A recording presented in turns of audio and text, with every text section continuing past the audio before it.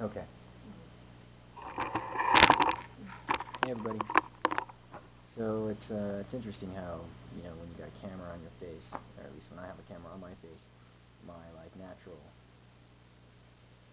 uh, disposition kind of like changes, or maybe my natural disposition can change, but it does feel like it. And I, I, I feel on the spot, and like I have to like explain something, or like you know, I have to entertain someone, you know.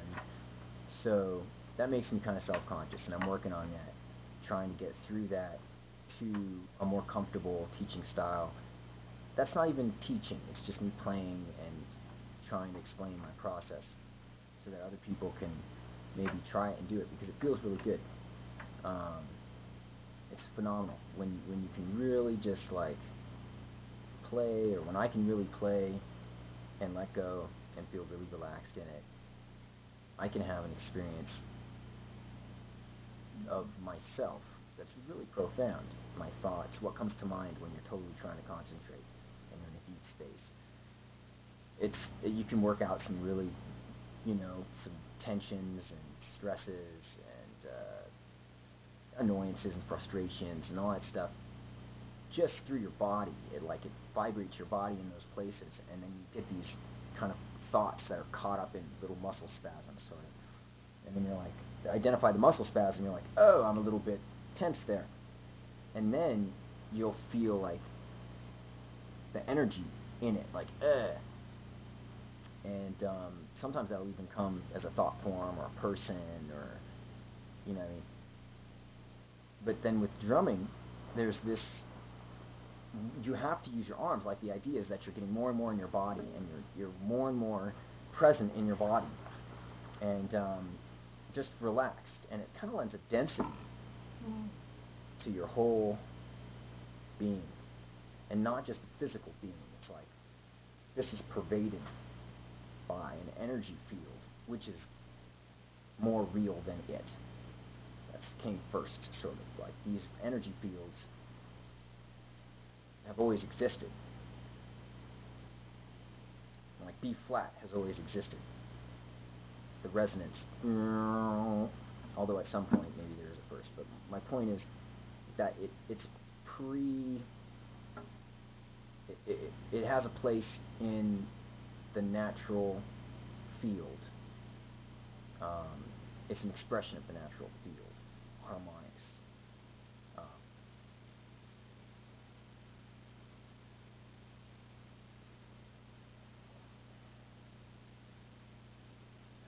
Emphasis is. So like the moon has a period, and the earth has a period, and the sun has a period. And um, the music of the spheres, that idea, for me, relates to this in that when we consider the planets in the solar system and how they all go around the sun mm-hmm. in an ovular pattern, right? Mm-hmm. So when they come all the way around back to where they were last time, or at least as close as they're going to get, because it's always a little bit off. Mm-hmm. No planet goes in the same place twice, because we're moving with the sun too, which has its own vector and path. They these periods have harmonics.